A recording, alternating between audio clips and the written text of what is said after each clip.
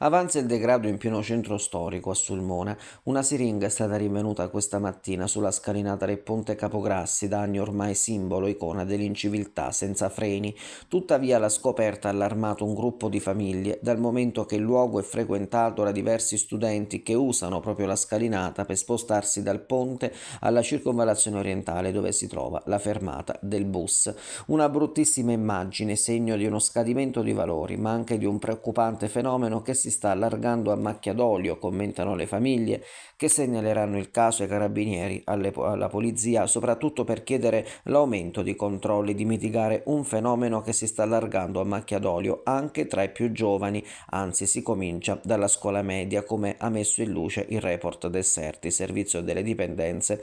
della Slavezzano Sumona L'Aquila, che annuncia un evento per la sensibilizzazione sul tema.